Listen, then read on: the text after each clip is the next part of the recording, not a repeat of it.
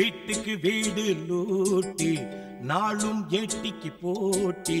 வீட்டுக்கு வீடு லூட்டி பதசரிகா. எங்க டியூட்டி டியூட்டி என்னாலும் ஏட்டிக்கு போட்டி. பதசரிகா. எங்க டியூட்டி டியூட்டி வீட்டுக்கு வீடு லூட்டி என்னாலும் வீட்டுக்கு போட்டி. வீட்டுக்கு வீடு லூட்டி என்னாலும் வீட்டுக்கு போட்டி. மன்னர்களே ஆனாலும் மாச கடைசி பாக்கெட் எம்டி மன்னர்களே ஆனாலும் மாச வீட்டுக்கு வீடு என்னாலும் ஏட்டிக்கு போட்டி.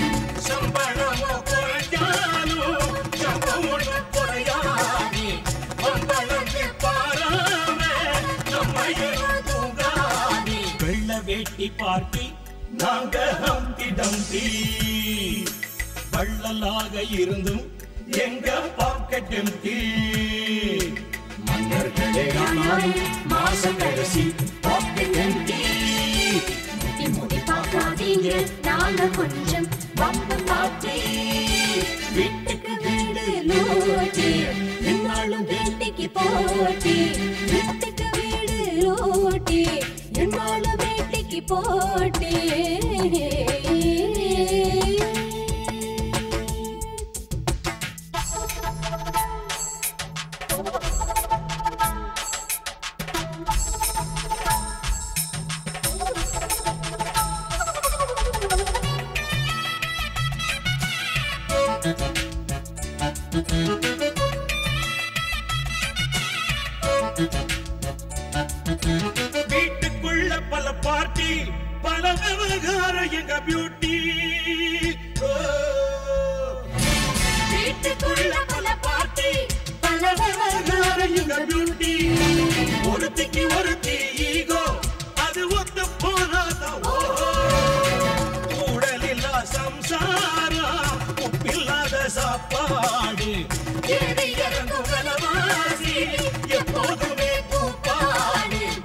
மாக்கு பாட்டி நாங்க ஹம்டி டம்டி சொத்து பத்து இல்ல நாங்க ஹம்டி டம்டி மன்னர்களே ஆனாலும் மாச கடைசி பாக்கெட் எம்டி முன்னேறவே துடிப்போம் நாளும் அடிப்போம் வட்டி வட்டி. வீட்டுக்கு வீடு என்னாலும் கேட்டிக்கு போட்டி. வீட்டுக்கு வீடு லூட்டி பதசரிதா எங்க டியூட்டி டியூட்டி என்னாலும் ஏட்டிக்கு போட்டி. பதசரிதா எங்க டியூட்டி டியூட்டி ஆனாலும் மாச கடைசி பாக்கெட் எம்டி ஆனாலும் மாச கடைசி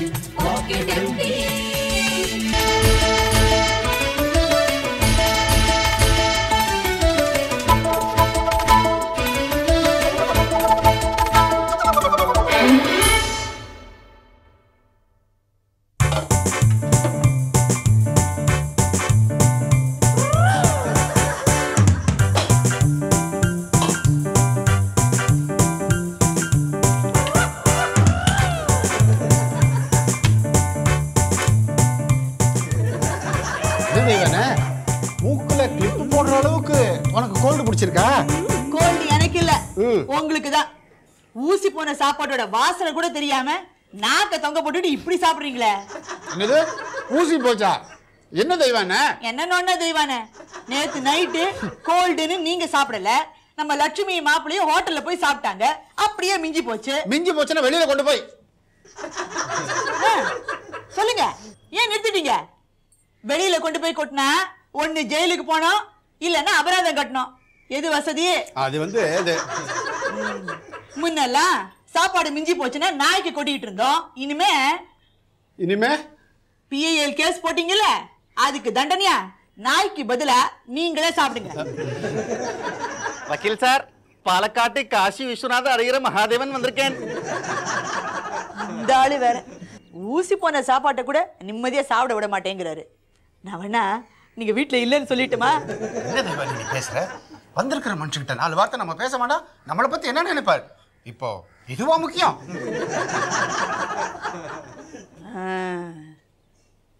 எஸ்கேப்பா இருக்கட்டும் இருக்கட்டும் இந்த சாப்பாட்டை நீங்க முடிக்கிற வரைக்கும் நான் அடுப்பே பத்த வைக்கிறது இல்லைங்கிற முடிவோட தானே இருக்கேன். அடே அடே மகாதேவன் சாரா வாங்க வாங்க. எப்படி இருக்கீங்க? நல்லா இருக்கேன் உம்மா ஆசீர்வாதம். உட்காருங்க.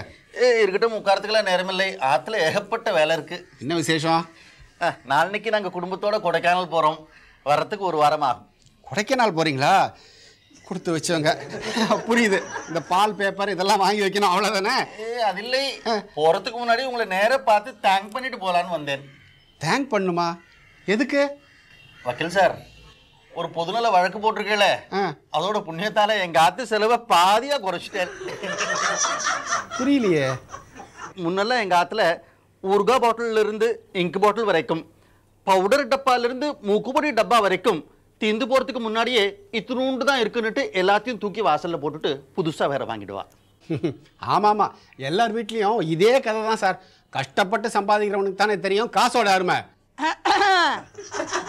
மாடு கனெக்ட் மாமி கூப்பிடுறான்னு நினைக்கிறேன். அதெல்லாம் ஒன்றும் இல்லை சார். நீங்கள் மேலே சொல்லுங்கள் ஆ எங்க ஆத்து குழந்தைகள் நாலு வரி எழுதுறதுக்குள்ள நாலு லாரி பேப்பரை கசக்கி போட்டுறா எங்க அம்மா என்னடானா கார்த்தால சமைச்சது மத்தியானம் சாப்பிடப்படாது சேஷம். மத்தியானம் சமைச்சதை ராத்திரி சாப்பிடப்படாது சேஷம். இப்படின்னு சொல்லிட்டு ஆத்துல பண்ணது எல்லாத்தையும் பாத்திரத்தோட வாசல்ல கொண்டு போய் கொட்டிடுறா. போதாதைக்கு வேளா வேலைக்கு ஏகப்பட்டது சமைக்கிறா. எல்லாம் சரி. யார் இந்த சேஷன்? சேஷன் இல்லை. சேஷம். உங்க ஆத்துல ஊசி போனது கெட்டு போனது எல்லாத்தையும் என்னன்னு சொல்லுவேன். தலையெழுத்துன்னு சொல்லுவேன். குட் ஜோக் நாங்க அதை சேஷம்னு சொல்லுவோம். ஆ அது பின்னே ஒரு வாரத்துக்கு எங்க ஆத்து மேல ஒரு கண்ணு வச்சுக்கிறோம் ஊர்ல இருக்க மாட்டோம். நான் கிளம்பிக்கிட்டுமா. ஏங்க ஊசி போன சாப்பாடு ஆறுறதுக்குள்ள சீக்கிரம் சாப்பிடுவாங்க. இதைத்தான் நாங்க சேஷம்னு சொல்லுவோம். சாப்பிடுவோம்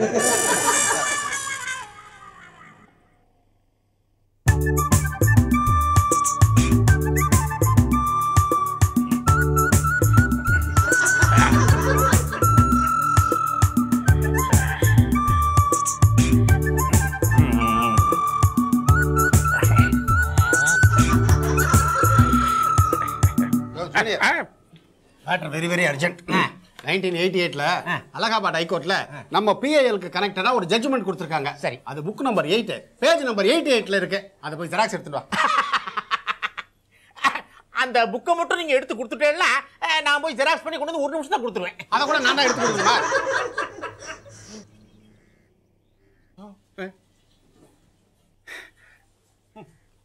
என்ன அதெல்லாம் இங்க இருந்த லா பாக்ஸ் எல்லாம் எங்க? நீங்க என்ன கேட்டுட்டேன் நான் யாரை கேட்கறதுன்னு தெரியாம மூக்க பிடிச்சிட்டு உட்காந்துருக்கேன் என்ன? லாபுக் தேடுறீங்களா? மண்ணி உங்ககிட்ட இருக்கா? எடுத்துட்டு வாங்க. இவள, என்ன இது? தெரியல. வீட்ல குப்பை குடிங்க வைக்க இடம் பத்தலன்னு உங்க லா புக்ஸ் எல்லாம் மொத்தமா மூட்டை கட்டி பரன் மேல போட்டுட்டேன். நீ பண்றது கொஞ்சம் கூட நல்லா இல்ல பேசாதீங்க. எனக்கு வர்ற கோவத்துல இந்த வீட்ல மேக்சிமம் குப்பை போடுறது நீங்களும் உங்க ஜூனியரும் தான் ஒரு ஆப்பிள கூட தோலை சீவி குப்பையில போட்டுட்டு சாப்பிடுற ஒரு ஜென்மம். ஐம்பது பைசாவுக்கு வாங்குற வெத்தலைய அப்படியே கையில தூக்கிட்டு வராம ரெண்டு கவர் சண்டை போட்டு வாங்கிட்டு வர ஒரு ஜூனியர்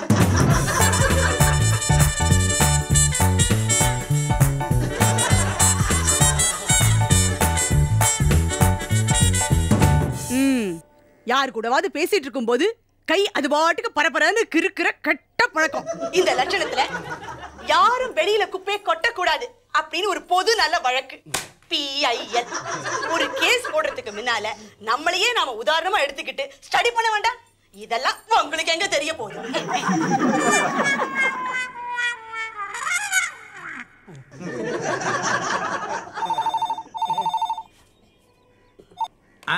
ஹலோ? யார் பேசுறது? அடடே சுசு அத்தையா நமஸ்காரம் நமஸ்காரம். எப்படி இருக்கேள் ஏதோ இருக்கேன். குடியும் குப்பையுமா? இதோ இருக்கேன்.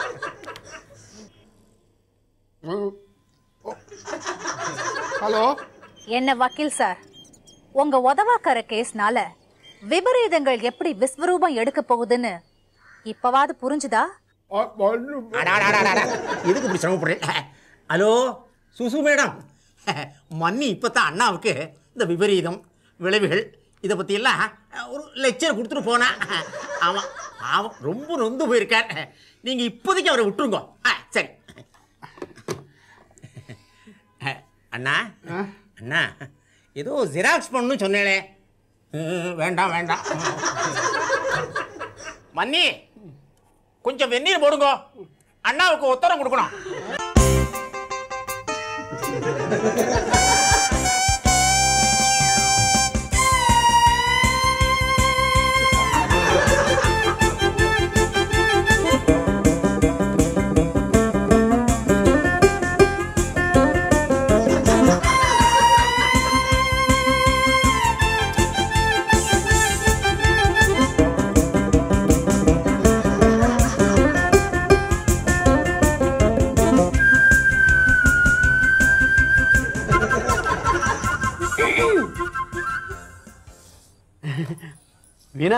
அது கடலை சாப்பிட்ற சுவாரஸ்யத்துல மறந்து போய் தோலை கீழே பட்டேன். பரவாயில்ல பாபு. அதனால என்ன? நீ இந்த மாதிரி சட்டவிரோதமா பப்ளிக் பிளேஸ்ல போட்ட குப்பைய நான் தான் அக்கறையா பொறுக்கிட்டேனே. நீ கடலைக்கு பதிலா ஜெயில களி திங்காம நான் எப்படியோ காப்பாத்திட்டேன். தேங்க்ஸ் அஹ், அது வந்து சுவாரஸ்யமா கடலை சாப்பிட்டுட்டு இருந்தேனா? அதான். பாபு என்னதான் சுவாரஸ்யமா கடலை சாப்பிட்டாலும் என்ன பாரு புத்திசாலித்தனமா தோலை தட்டில் போடல அப்படி இருக்கணும்டா. எங்க தட்டுல தோலை காமி எங்கடா போச்சே? எல்லாத்தையும் எடுத்து நான் தான் தரையில போட்டேன். நான் களி தின்னா நீயும் களி திங்கணும். சரி சரி. நான் தான் உங்க ரெண்டு பேரையும் காப்பாத்திட்டேனே. ஆனா இன்னொரு விஷயம் இருக்கு. சுவாரஸ்யமானது கடலை மட்டும் இல்லை. நீங்க ரெண்டு மணி நேரமா கீழே வைக்காம படிச்சுக்கிட்டே இருக்கீங்களே. இந்த லேடிஸ் மேகசின் அதுவும் தான். அடடே லேடிஸ் மேகசின். ஆமா இல்ல? வீணா இங்க பாரு. ஜெனரல் இன்ஃபர்மேஷன்ஸ் நிறைய இருக்கு. நான் அதெல்லாம் தான் படிச்சிட்டு இருந்தேன். மோகன் வேணா வேற எதையாவது படிச்சிட்டு இருந்திருக்கலாம். கரெக்ட் நானும் ஜெனரல் இன்ஃபர்மேஷன் தானே படிச்சிட்டு இருந்தேன். நீ பாரு. ஏய், இது இல்ல இது இல்ல இது. ஆ, நான் இல்ல நான் சொன்னேன். நம்ம வீட்லயே லேடிஸ் மேகசினுக்கு எவ்வளோ டிமாண்ட் இருக்கு. ஆனா ஏவாள் உலகம் அப்படின்னு ஒரு லேடிஸ் மேகசினை நான் ஆரம்பிக்கிறேன்னா மட்டும் யாரும் ஹெல்ப் பண்ண மாட்டாங்க. அஹ், அது வந்து ஏதோ கடைக்கு போய் நீ என்னவோ வாங்கணும்னு சொன்னல நான் போய் வாங்கிட்டு வந்துடுறேன். இல்ல பாபு நான் ஒன்னும் கேட்கல அதனால நீ எங்கேயும் போக வேண்டாம். அதானே? பாபு வீணா உங்ககிட்ட ஏதோ தனியா பேசணும்னு நினைக்கிறா. அதனால நீ இங்கே இரு. நான் போய் அது ஏதோ கடையிலேருந்து என்னவோ வாங்கிட்டு வந்துடுறேன். ஸ்டாப் இப்போ யாரும் எந்த கடைக்கும் போய் எதுவும் வாங்க வேண்டாம். முதல்ல நான் சொல்றதை கேக்குறீங்களா? ஆ ஏதோ முக்கியமா சொல்ல போற. அதுல மோகனுக்கு பங்கு இருக்கு இல்லையா? மோகன் உட்காரு மோகன். மோகன் உட்காரு. நீ இதை கேளு மோகன் உட்காரு. இப்ப சொல்லு வீணா. பாபு நான் இதுல எல்லா டீட்டெயில்ஸையும் எழுதியிருக்கேன். என்ன டீடைல்ஸ் வீணா? இவாள் உலகம் ஆரம்பிக்க எவ்வளோ முதலீடு வேணும்? எத்தனை பேரை அப்பாயிண்ட் பண்ண வேண்டியதா இருக்கும்? சும்மா ஃபைனான்சியல் டீட்டெயில்ஸ் தான். ம் படிச்சு பார். வீணா அண்ணன் தானே வீட்டுக்கு மூத்தவர்? இந்த ஃபைனான்ஷியல் டீடைல்ஸ்லாம் அவர் பார்க்காம எப்படி? அண்ணே. ரொம்ப மரியாதை தான் உன்னை தனியாக கவனிச்சுக்கிறேன். வீணா ஃபைனான்ஸ்னாவே எனக்கு அலர்ஜி உனக்கே தெரியும் மீனா கால்குலேட்டரும் கையுமா வந்தாவே எனக்கு வயத்தை கலக்கும். எனக்கு புரிஞ்சு போச்சு. நீங்க ரெண்டு பேருமே தப்பிக்க பாக்குறீங்க. அந்த மாதிரிலாம் எதுவும் இல்லை வீணா. நான் சொல்றதை கேளு. இந்த பத்திரிக்கை ஆரம்பிக்கிறது ரிப்போர்ட்டர்ஸ் அப்பாயிண்ட் பண்ணுறது இதெல்லாம் கனவுல வேணா ஓகே ஆனால் நடைமுறைக்கு ஒத்து வராது. நம்ம தீப்பொறி சாரதா மாதிரி டைனமிக் விமனால் தான் இதெல்லாம் செயல்படுத்த முடியும். ஆமா வீணா. நாமெல்லாம் சாதாரண மக்கள். அப்போ நான் டைனமிக் உமன் இல்லைன்னு சொல்றீங்களா? நாங்க அப்பெல்லாம் சொல்லப்பா. நீ தாராளமா ஏவல் உலகம் பத்திரிக்கை ஆரம்பி. பாபு! பாபு நிஜமாவா சொல்றேன். Thank you very much Babu. நான் இப்போ உன் செக் புக் எடுத்துட்டு வந்துடுறேன். வீணா வீணா. அவசரப்படுற பத்தியா? நான் என்ன சொல்ல வந்தேன்னா ஏவாள் உலகம் அப்படின்னு ஒரு கையெழுத்து பத்திரிக்கை ஆரம்பி. வெரி குட் ஐடியா பாபு என் காத்து பட்டதுல உன் புத்தி வேலை செய்ய ஆரம்பிச்சிருச்சே. கையெழுத்து பத்திரிக்கையா? அப்படின்னா? அப்படி கேளு. நீ என்ன பண்ற? உன் கையெழுத்துலயே நாலு பக்கத்துக்கு ஒரு பத்திரிக்கை எழுதுற. நான் அதை பக்கத்துல இருக்க ஜெராக்ஸ் கடைக்கு எடுத்துட்டு போய் நாற்பது காப்பீஸ் போட்டுடுறேன். நாம ரெண்டு பேருமே எல்லாருக்கும் அதை டிஸ்ட்ரிபியூட் பண்ணிடுறோம். என்னடா சொல்றது? கரெக்ட் அப்பதான் எல்லாரும் அதை குடும்ப பத்திரிக்கை அப்படின்னு சொல்லுவாங்க. இந்த ஐடியா கொடுத்த வாயில வீணா இரு இரு. இதை விட ஒரு சூப்பர் ஐடியா நான் வச்சிருக்கேன். என்னது இது? ஜெராக்ஸ் காப்பி கூட எடுக்க வேண்டாம். பேசாம நோட்டீஸ் போர்டுல ஒட்டி எல்லாரையும் படிச்சு பார்க்க சொல்லலாம். அப்படிதானே சொல்றீங்க? ஐ, இது நல்ல ஐடியாவா இருக்கே. ஆனா நான் சொல்ல வந்தது அது இல்ல. அந்த நாற்பது ஜெராக்ஸ் காப்பி எடுக்கிற பேப்பர் செலவு கூட நாம செய்ய வேண்டாம். அந்த நாற்பது பேப்பரை நானும் பாபுவும் எங்க ஆபீஸ்ல இருந்து லவுட்டிட்டு வந்துடுறோம். எப்படி நம்ம ஐடியா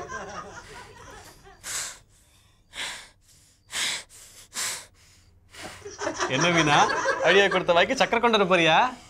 இல்ல. எனக்கு வர ஆவேசத்தை அப்படியே ஒரு தலையங்கமா தீட்ட போறேன். உலகளவில் பேசப்பட வேண்டும் என்ற நான் நினைத்த ஏவாள் உலகத்துக்கு முதலில் கிடைத்த வரவேற்பு என்ன? கேவலம். ஒரு காலனிக்குள் முடக்க பார்த்தனர் மூடர். புரிஞ்சுது. என்ன? தற்காலிகமா என் பர்ஸ் பொழைச்சதுங்கிறது மட்டும் புரிஞ்சுது. வா. எங்க? கடலை.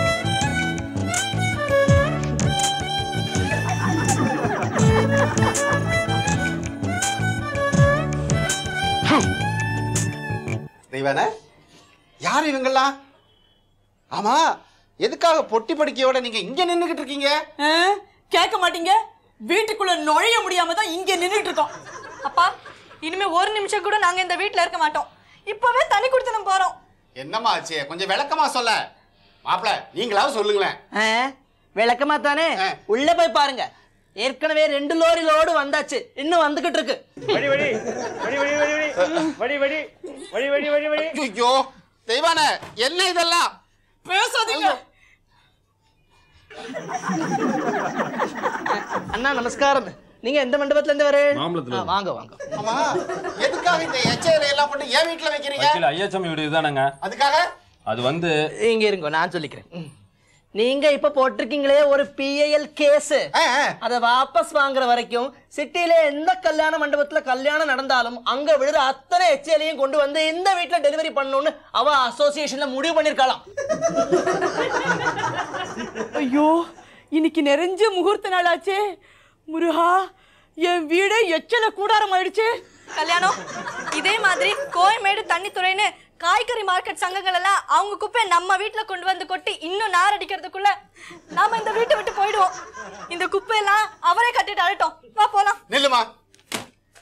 இதை நான் சும்மா விட போறது இல்ல என்ன நினைச்சுக்கிட்டு இருக்காங்க அவங்க? அவங்கள நான் கோர்ட்டுக்கு இழுக்க போறேன். இந்த பாருங்க. கோர்ட்ல இருந்து எப்போ இந்த எச்சல் எல்லாம் எடுத்துட்டு போலான்னு ஆர்டர் போடுறாங்களோ அப்ப சொல்லி அனுப்புங்க. நாங்க திரும்பி வரோம். அது வரைக்கும் நானும் என் பொண்ணோட தனி கொடுத்தன போக போறேன். தெய்வானே நீமா நீ இல்லாம நான் இது வரைக்கும் இருந்ததே இல்லையே. இந்த பாருங்க ஒண்ணு இந்த வீட்ல இந்த குப்பை இருக்கணும். இல்ல நான் இருக்கணும். எதுன்னு கரெக்டா முடிவு பண்ணுங்க. இல்லம்மா நீயே இரு. இதுக்கு நான் ஒரு முடிவு கட்டிட்டேன். இந்த பிஐஎல் கேஸை நான் வாபஸ் வாங்க போறேன். ஆமா நான் போடுற எந்த கேஸுமே ஒரு வாரத்துக்கு மேல தாக்கு பிடிக்க மாட்டேங்குதே. ஆ? அப்பாப்பாப்பாப்பாப்பா அடாடாடாடாடா. இப்பதான் மனுஷன் வீட்டில் கையை காலை வீசி நடக்க முடிகிறது. ஆஹாஹா எவ்வளவு இடம் கிடைச்சிருக்கு. ஆ? நல்ல காத்தையே சுவாசிக்க முடியறது வீட்டில்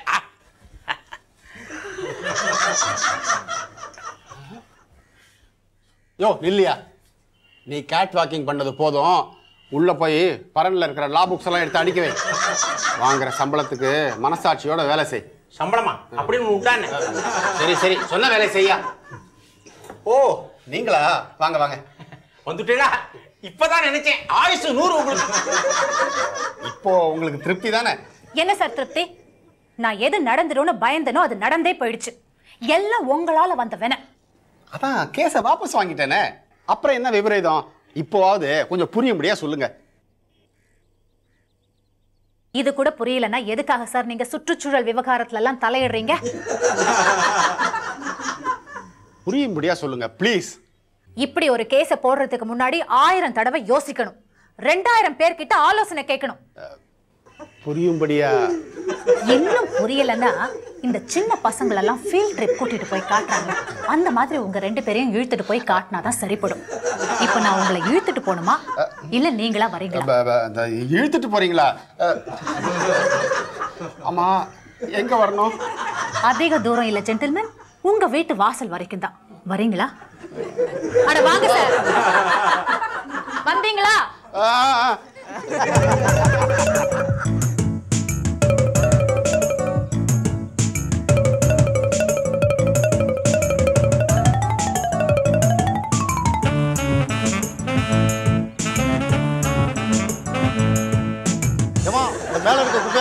வா இங்க நிக்க முடியல ஒரே கப் அடிக்குது. பாத்தீங்களா? முன்னையாவது அட்லீஸ்ட் குப்பைய குப்பை தொட்டிக்கு பக்கத்துலயாவது போடுவாங்க. இப்போ என்னவோ ஜெயில்ல இருந்து அவுத்து விட்ட மாதிரி புது சுதந்திரம் கிடைச்ச சந்தோஷத்துல ரைட் ராயில குப்பைய வெளியிலயே கொட்டுறாங்க. எங்க நீ இத்தனை குப்பை எட்டுன்னு வரானுங்க? ஆ! ஒப்போ வேற எதுனா இருக்குதா? ஐ, தள்ளி தள்ளி போடு தள்ளி போடு தள்ளி போடு. எல்லாம் உங்களால வந்த விபரீதம். இப்போ போய் அவங்க கிட்ட குப்பைகள் எல்லாம் ரகம் வாரியா பிரிங்க. அழுகி போற சமாச்சாரத்துல இருந்து உரம் தயாரிங்க. மக்காத பேப்பர் மாதிரியான பொருட்களை பேப்பர் காரண்ட போடுங்கன்னு சொல்லி தர ஆரம்பிச்சா தொடப்பத்தை தூக்கிப்பாங்க. ஓஹோ இதத்தான் விபரீதம் விளைவு பாதிப்புன்னு சுத்தி வளைச்சு புலம்பிட்டு இருந்தீங்களா? இப்போ நல்லா சிரிங்க. நாளைக்கு நானும் இன்னும் நாலஞ்சு சமூக சேவை நிறுவனங்களும் உங்க வீட்டுக்கு வந்து வாசல்ல ஆறுக்கு மூணுன்னு பெருசா குழிய தோண்டி ஐயோ குழிய தோண்டி என்ன அதுல போட போறீங்களா? ஐயோ குழியில உங்களை போட்டா என்ன கிடைக்கும்? குப்பைய போட்டாலாவது தங்கமா உரம் கிடைக்கும். அதைத்தான் எல்லாருக்கும் செஞ்சு காட்டி பொதுமக்கள் கிட்ட ஒரு விழிப்புணர்ச்சியை உருவாக்க போறோம். ஒருவேளை அன்னைக்கு உங்களுக்கு கேஸ் எதுவும் இல்லாம இல்ல ஒருவேளை ஃப்ரீயா இருந்தீங்கன்னா அவசியம் வந்து கலந்துக்கோங்க. வரட்டுமா? என்னண்ணா? கேஸ் எதுவும் இல்லாம ஃப்ரீயானட்டும் அந்த ஃப்ரீக்கு ஒரு அழுத்தம் கொடுத்துட்டு போறா? நீ சொல்றத பார்த்தா ஒரு குதர்க்கமா. இல்ல இல்ல ஒரு மாதிரியா இல்ல. உனக்கு எப்படி வேணா இருக்கட்டையா என் வீட்டு வாசல்லே குழி வெட்ட போறாங்களா? அதையும் நான் பாக்குறேன்.